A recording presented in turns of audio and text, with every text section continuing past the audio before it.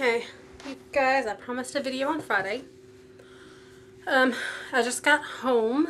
Well, I do have a package coming in this evening. It's just kids' school clothes, so there's nothing really there to video. Um, I figured you really didn't want to see clothes for four children. Um, I did do some shopping and got some of those today, but I figured I'd show you the funner stuff I got today that you guys will be seeing in other videos. Um, some of it. Um, I got this little case, which you probably won't see in any future videos. Um, just a little bitty case. I like little cute things like this, especially since they're zebra. Um, unstuff it. But I did get this today. It was really cute. I love it. Okay. Um, pretty much everything else is um, stuff that I've gotten in the mail recently since the last video or stuff that I went to and bought today. Um, I did get stuff in the mail today and I figure we're going to open that together on here because I have not opened it yet because I just got it out of the mailbox. So, in the last video, I showed you guys that I had gotten this um, Red Heart Super Saver Gold yarn for the Wizard of Oz blanket. And I've been making squares out of the other one because I had two of them. Um, and I haven't finished. But I kept debating the fact that gold really didn't go with the Wizard of Oz theme. That I should have gotten yellow for the Yellow Brick Road. So while I was at the store today, I got a Red Heart Super Saver. It's upside down. You can't read that, can you? Red Heart Super Saver in bright yellow. Um, really needed two of them, but they only had one. Um, I've already made a bunch of these. I've got like 10 squares already done of this. So I guess I will come up with some other plan to use the gold. Um, I don't know what yet, but I've got about 10 of these done. Um, but I'll come up with something. I don't know. We'll see something for those. I guess I'll just make a bag of granny squares and that's where they'll go. Um, I got two yarns today that I did not plan on buying. My daughter is such an enabler. Um, so I got this one, which is Red Heart Super Saver. Um, I don't know how well the color is really showing up on the screen. It's called Banana Berry. It's really, really pretty. It's got yellows and blues and greens. Um, I'm not sure what this is going to be. I only got one of them because I was trying really hard not to buy what I didn't need. But I also got this one, which I really don't need, and I'm not sure how well that shows up either. It's um, called Bright Mix. It's got lots of blues, greens, purples, and pinks. Wasn't planning those two at all. Um, you saw this one in the last video too, and I had the dark blue, and I said I was thinking about doing this with the white for the dress. However, the dress Dorothy wears is a light blue, so I got two of the light blue to go with the white. So I think that'll be better. So those are the changes to that blanket. So now I've got two blues that I don't know what I'm going to do with yet. And I've got the golds. Um, some people had seen that I had ordered some stuff from Knit Picks. Um, I posted that it cost me like 13 and a half bucks. And I got um, eight skeins of yarn. Um, this one is Knit Picks Wool of the Andes Sport. Um, I don't know. It's um 50 gram ball. I'm not sure if it, which number is the right one. It was, granted, it went by a name on their website, not numbers. So I don't know what it is. I don't have my paper with me. But I got two of those. Um, they're sport weight. I have no clue what I'm doing with these and they're wool. Actually, I don't know what I'm doing with any of this yarn. I'll just dump it out. So I guess we'll see where those take me. Um, I also got, oh, wait a minute, maybe it did say, maybe I missed it. Did they? Okay, no, that one didn't. Um, it just had a number. I got two of these in Brava Sport. They're called Eggplant. It's really pretty purple.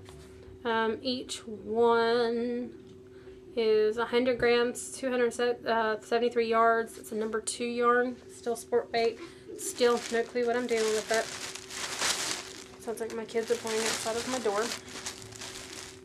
And I got two of these. Um, these are Highland wool, 50 grams. I'm not real sure I like the feel of them. Um, they're Wool of the Andes Calypso Heather. Kind of a greenish color with a little bit of gray kind of in there, I guess. I'm not sure what I'm going to do, whether I even really like them. Guess we'll see. And then the last two from that order were Wool of the Andes Sports Fairy Tale. These are 50 gram balls, 137 yards. Um, they're pretty thin. Don't know what I'm going to do with those either. I don't know why I buy things that I have no clue what I'm going to do with. Um, online. Um, ugh, I can get the little baggie open. I got these cute little things. I was hoping they would come in different colors, but I got these on eBay. Um, I take them out of the little baggies. These are, I was hoping to get a pink one in a different color. Pink one for my daughter and a different color for my oldest. Um, they're little erasers that look like little iPhones. I got two of those. There you go. So I got two of those this week. I was hoping they'd be different colors so they could each have one. He's a boy. Although he did say that he would he would deal with it being pink. So probably he'll just keep it at home and use it. It's just totally fine with me. So I did get two of those this week. Um, I got these off of um. They came in this week. They, I don't know how well I'm going to be able to show you these. Put these other ones back in the bag. It came as a set of six. I'm trying really hard not to drop these things. Um, like that. Um, it's this little thing. They're bead caps. Um, I plan to try using them with some of the stitch markers maybe, or the marble necklaces that I'm working on. We'll see. They're really, really thin. They're thinner than I thought they would be. Um, I also got these. They're bead spacers. I got a whole little bag of them. I'm going to try to pull one out so you can see it. These are also, these came off of eBay with the little erasers. I thought these would be bigger than they are, but they're not. But I think they'll be really good with doing stitch markers. Um, like maybe with some of the smaller beads or something. I don't know. Or if I do them sideways, they could be good, like make little abacuses out of them for counting stitches. Um, I'm going to try to show you this next one. I did not think to bring in a marble with me. Or a bead or anything else for you guys to see this with. So you get an idea of what it really looks like. Um, trying, in case you're wondering, I am looking around trying to see if I got anything that I can put this on so you guys can see it. Um, unfortunately, I don't. Um, okay. So, how well you can see it, but this is the base. And then you'd put a bead in the middle or a charm or something, and then put that on top. And it looks like a, just leave them laying there. It'll look like a little teapot. Um, okay, thank you. Let's see. Um, is the closest thing I've got to marble in here right now. This actually comes from a camera bag. Or a camera strap, rather, for my husband's old dive camera that quit working. But you'd put like your bead on there, and then you'd put the top on it, and it looked like a little teapot. And I plan on making some little counters out of those. It's Kind of cute. It'll look a lot cuter when it's on an actual um, bead or marble and not hanging from one of those straps. But these are going to have to wait till school starts because I need them to be able to sit and air dry without a kid trying to play with them while they're drying. So that'll be a project for once school starts. I have, I believe, um, 10 of those that I can make, which I can't wait because I think they're, they'll be really, really cute. I'm looking forward to those. Can't get the bag to close now, so I don't lose it. There it goes. Okay, so we're going to finish today's shopping trip from Walmart, and then we will look at the stuff that came in the mail today. Um, it's all the baking and stuff. Okay. With all of the stuff that I've been baking and stuff, I knew I've got a bunch of um, measuring spoons and stuff. But I, I like my hard ones. So I did get a new set today of the Farberware. They're the hard ones. And the really cool thing about this is normally you only get to a tablespoon and they stop. This set comes with two tablespoons. I love it because I'll be able to use this for like when I make cookies and stuff. That's like perfect, awesome size for like getting cookie dough or biscuits or whatever, something out. So that'll be awesome. And I love the fact they put them on little bitty ring things, but I never use them in the kitchen for that, so I'll find some other use for that. And I don't know why I bought another set. Really don't. But I bought a matching set of measuring cups. I don't know. Maybe it's because they're matching. Maybe I'll put those away until I break one of my other ones. Um, I do need more whisks. I, am forever breaking them. So I got a set of multicolored ended rubber whisks. It's a set of two. I love these. And it's all from the shopping trip. Now it's mail call time. Let's see what we got in the mail. This one has some really cool stamps on it. Um, but I don't know what it's from or what it is or anything else.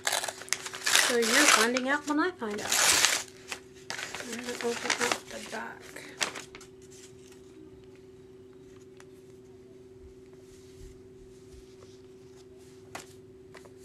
Oh, okay. Um, I know what these are. These are all numbered.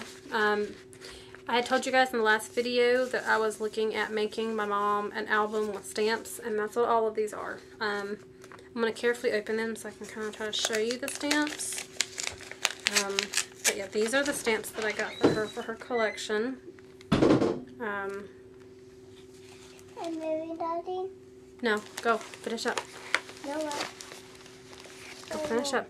Okay, and they came in these little bitty things. I'm trying to be really careful with these because a lot of these are really old. Um, these are three cents stamps and they say home of Theodore Roosevelt and this tells you where they're from. Um, these have never been used, never circulated. They're from the corner. Um, you can tell they came off the corner. It does have the number on it. Um, I've got to create some kind of an album or something for these for her. I'm probably not going to pull them all out because I'm worried that I'm going to tear them up right now. Um, I don't know. Maybe we'll quickly gotta be careful. I gotta find a way to store these too. Um, a lot of these are all older stamps. These are 8 cent airmail stamps. Like that. I'll be in in a minute. So those are 8 cent airmail stamps. They're all in little bags. Um, I need to go back down, go back to where I got them and actually write down the information the guy has on them because some of them do have info on the envelope, some of them don't. And my concern. Stop talking. my note. My note appeared. Okay, let me finish these up. Okay, this set. Has got some information on the envelope, which is really good. Um, these they say children's stamp 1956 3 cents. And apparently again that is a corner block set. Um, thankfully he put some information on there about them because I know nothing about stamps other than when I tried to pick some from this guy for her I tried to pick some of the older ones because I thought they looked cooler and because older usually means a little bit more rare. Um, these are three cent stamps. They're from 1758 to 1958 Gunston Hall. I'm not sure where that is or what that is, but it's yet another corner block. Anyway, one more set of these to go keep from tearing them. And let, again, thankfully the guy put a little bit of information on the envelope because I know nothing about the stamps. So it looks like only a couple of these I won't have to look anything up on. Most of them he infoed some of them for me. And this last one says Women's Suffrage 50th Anniversary. Six cent, six cents. Let's get another corner block. I just thought it looked kind of cool. Um, two-tone blue. So I got her that one. We got three more to go, and they all came, I'm thinking, from eBay. Um, let's see. How easy it'll be to get into these. It's loud. Yay, that one was really easy. Ooh, this one got here really quick. I actually just ordered this one not that long ago. Um, so that's actually really cool. Clean? Hang on. Whoa. Big bubbles. Big popping bubbles. Okay. Um, should show you this one in the bag if there wasn't a big thing stamped right in the front of the case. Oh. And it's a sticker. Yay. Um, it's kind of a pirate themed bead set. There are, yeah, sweet's hard. Black and white flowers. Some pirate looking ones. Just all kinds of pirate mixed beads. Which is really This is awesome. Um, also got some round circle beads and some little heart beads that are different designs. I'm trying to pull them all out so I don't lose them. That one. Um, that's pretty cool. Um, out of two other bags, I can't tell you what came from where because my son decided to open them for me. This one came out of this one. Oh, Okay. this one came out of these. This is more Oh, puzzle. Um, Okay, thank you. this Just out of is the from. China. Okay. This is one of them. I got a little set of beads. Um, these are going to be some stitch markers for some people that I know that like skulls. Um, I got some different ones. There's, Hi. Stop, mommy. I'll be there in a minute. Um, I think there are 10 of these. I'm not sure. I'm going to get stitch markers made, and these will be up on Etsy. Um, Sorry, so people. these will end up on Etsy as stitch markers. I got these. James, please stop. hey, stop in there! I got a bunch of these. They're actually meant for cell phone something and others. I guess you put like charms on them and stick them in your cell phone or something. I don't know. Somehow my brain didn't register that when I got them, but they do have this cool little hole at the top, which you can barely see. I figure I can put a charm on there, and they can hang either on the stitch like that, or I can put little clips on them so they can be stitch marker strings. I'll be there in a minute. Um, all kinds of colors. I don't know how many are in there. I don't remember, but they are what they are. More of those little bitty bead caps. These are in gunmetal. Um, totally different style bead cap that I'm going to use on spacers. They're cool little design. They're kind of hard to see. And they're too little to take out without dropping them. More bead caps, different design. Can't wait to get started with them. These are more of the even littler bead caps, which would be really good on some of the smaller ones that I've got. More smaller ones in all kinds of colors, so they will be going on beads for um, stitch markers and stuff like that. Totally different kind. Thinking on either some stitch markers with these and also for the um, marble necklaces. These are some other ones that are bigger. I can take one of these out and get them open. See if I can get to one. They go like this over top of a marble, which I did not bring. They bend. No, it's not that.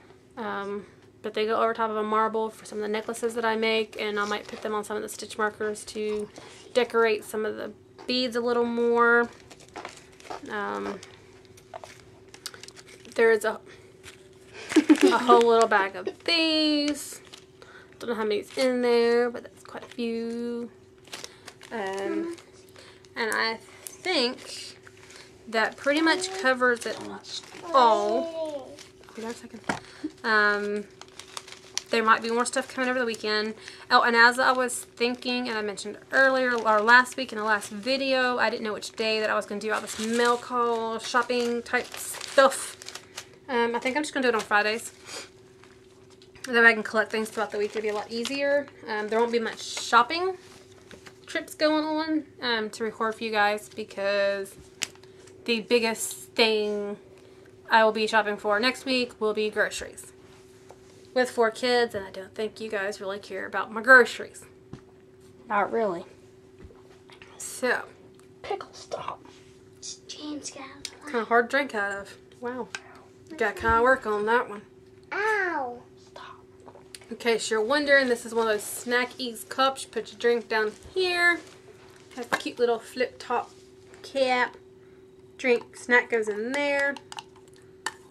Um, a little bit of sucking kind of hard on that, but it works. I look forward to using it. Um, but I think that's it. Um, I'll try to do a regular vlog on Monday, maybe. I think. I think Monday's one of my free days.